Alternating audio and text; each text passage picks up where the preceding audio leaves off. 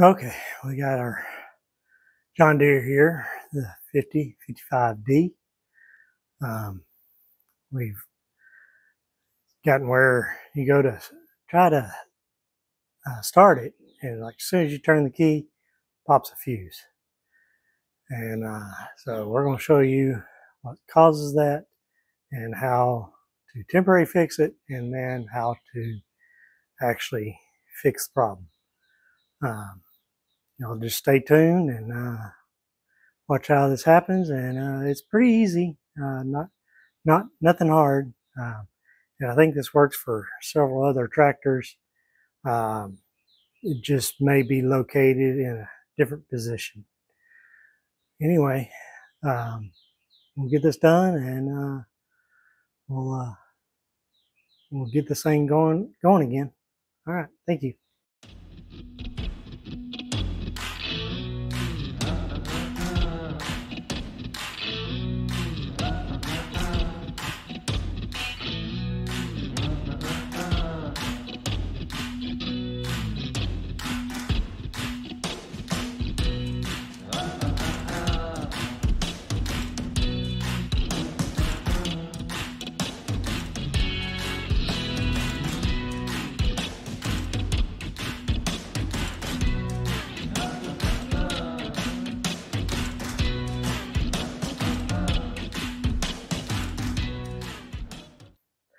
Problem is, soon as, soon as you turn the key, pop a fuse.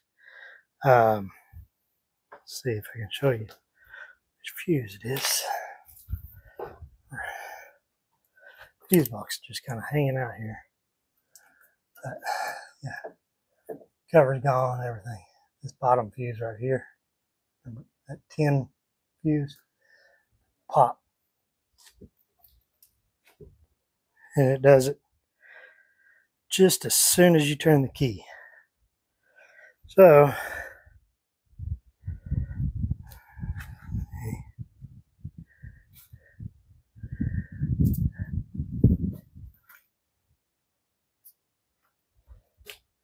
soon as you turn the key, it pops the fuse. And uh, so the fix is this uh, uh, temperature sensor right here.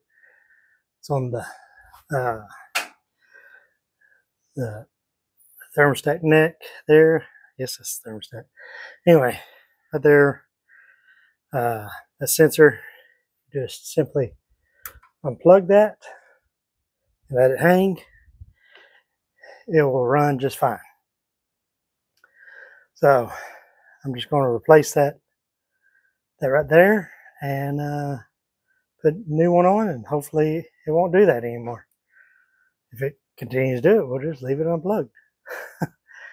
now, hopefully that fixes it. Um, I've seen several videos of people just unplugging that on different uh, model John Deere tractors and saying it's fixed. But uh, yeah, I'd rather replace it and uh, and have it truly fixed. Here we go. Uh, hold on. Okay, here's the new part from Amazon. Uh, it's pretty inexpensive. Took uh, about a week to get it, but uh, little brass fitting with the plug right here, and uh, we'll get it changed out. Went ahead and pulled the cap on the radiator just to uh, make sure there wasn't any pressure because the tractor had been running earlier. Uh, give it time to cool down. Now we'll get in here with a 7 8 wrench and hopefully there's room to sucker in here.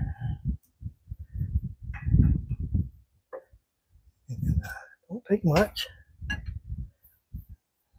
Sure. Has an O-ring, so it doesn't take a whole lot to tighten it down. That sucker is hot.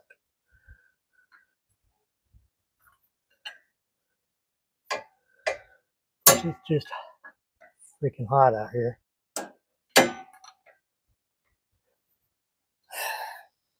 I cannot get that in there. I put too much stuff in the way. All right.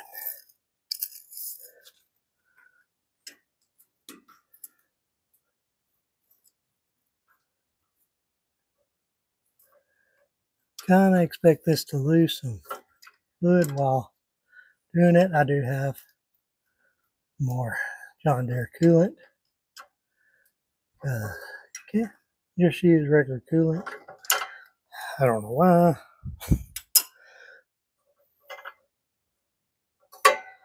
Well, hard to get anything in there.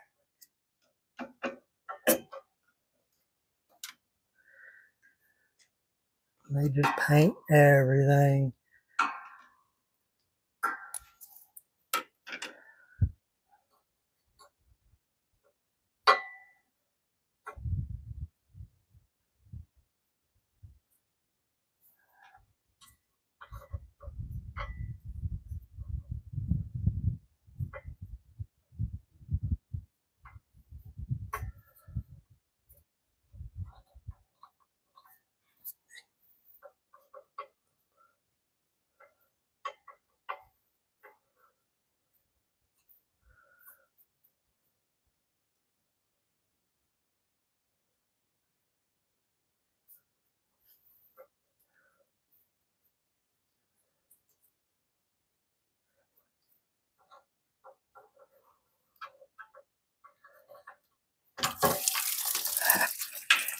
Damn.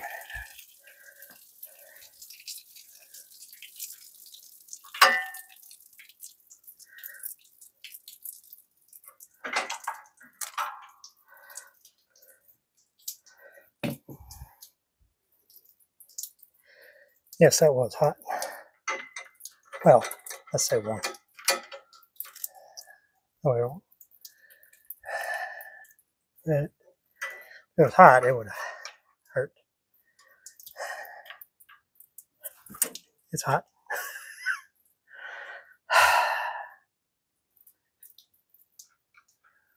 Come on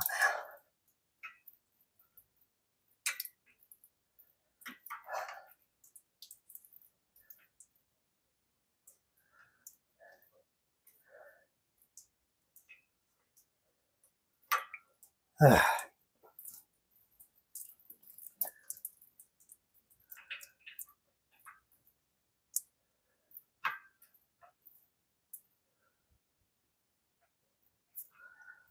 Let's go and let that thing drain down a little bit.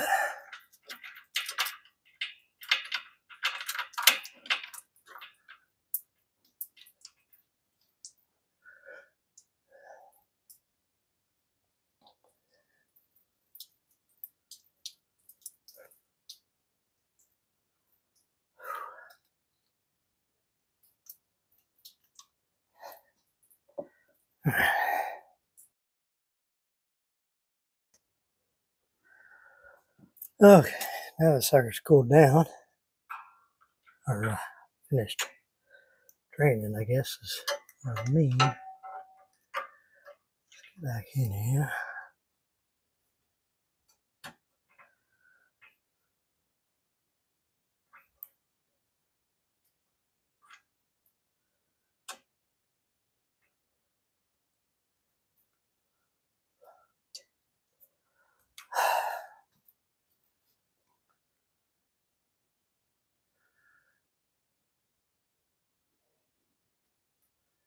Probably be easier if you took off this guard here. But there's a gazillion bolts holding that in. One, two, three. One, that's holding reservoir. Four, maybe. Maybe that wouldn't be so bad. All right, hold on. All right, let's see. Goodness.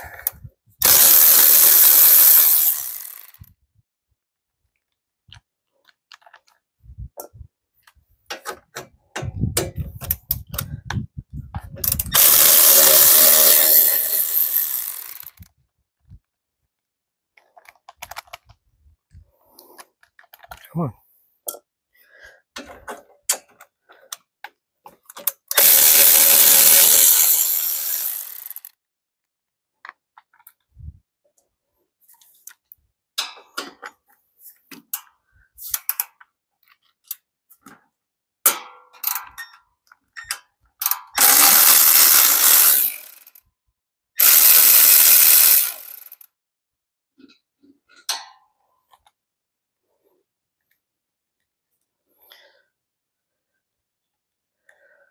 And get this guard out of the way.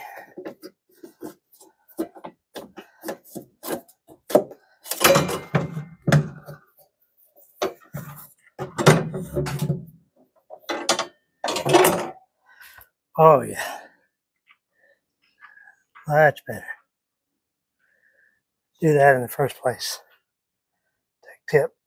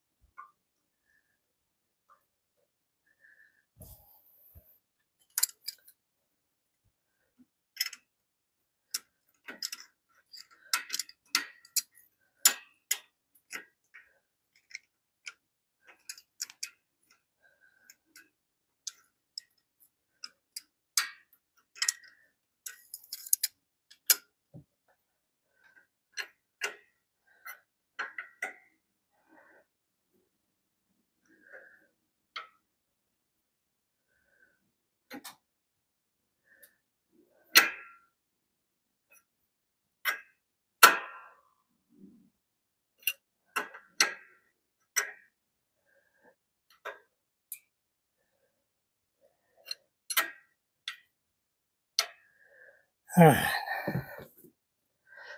Oh, definitely remove that guard. Oh, so much easier. And just those together, click that back in, and now put this guard back on. Should have took off in the first place. Ah, always.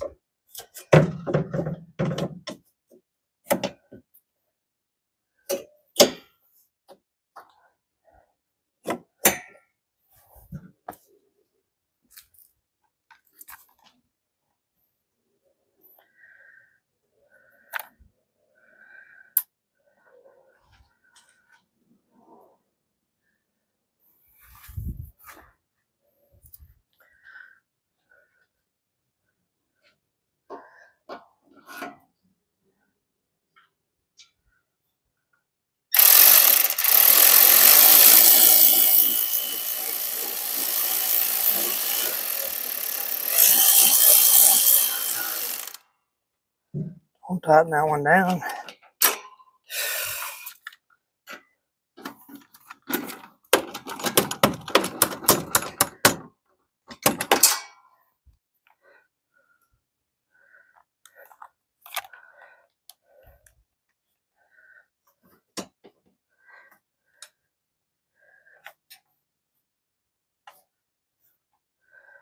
Let's hold them up.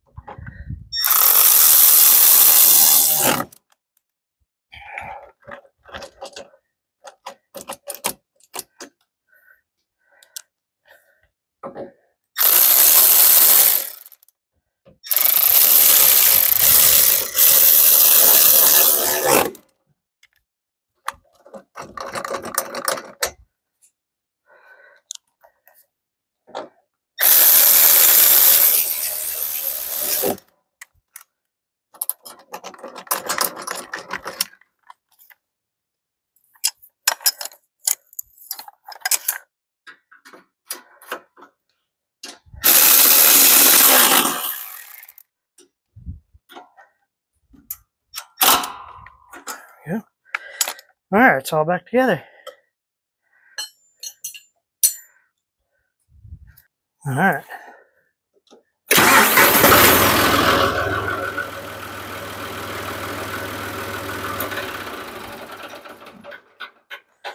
Okay, we know the start. Let's put the uh,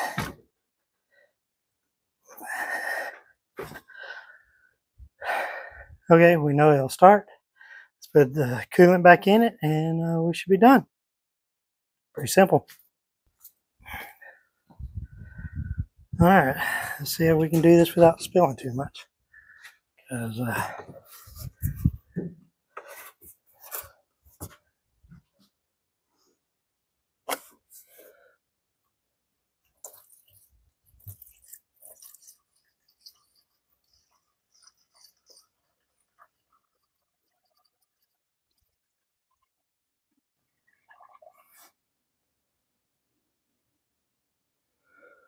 All right, that's full.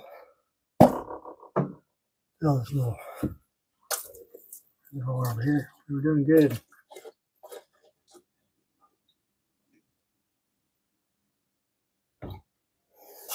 We were doing good until we tried to fill that. We spilled.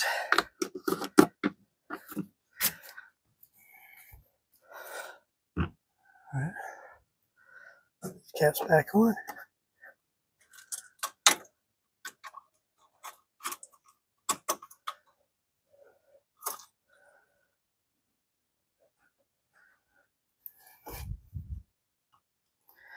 All right. Just a quick rinse. Get all this spilt off of it.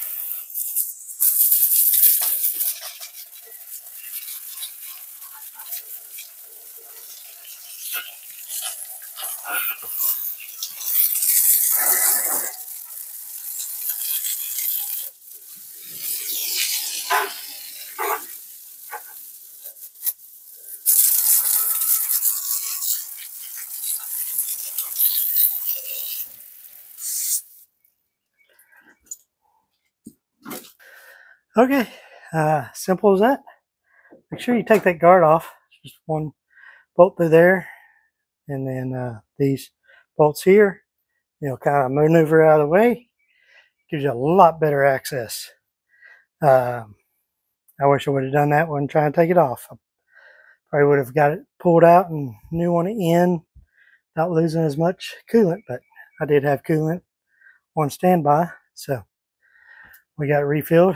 I got rinsed off. Hopefully we don't end up with any kind of residue from that coolant that I spilt on it. Uh, you know, it leaves a kind of a uh, oily film on there. So anyway, now we'll get it started and uh, and get back at it. It should be good to go. All right. So y'all like this video? I do have other videos on the tractor. I have other video calls on my trucks and my cars and other small engine stuff. Be sure to check those out and uh, make sure you uh, you subscribe, you share, and uh, and like these videos. It helps me out, keeps keeps me moving forward, and uh, so when I can, the more I move forward, the more stuff like this I can bring you, more stuff on the trucks I can bring you. Anyway, Thanks for watching. Uh, we'll catch you next time. Bye.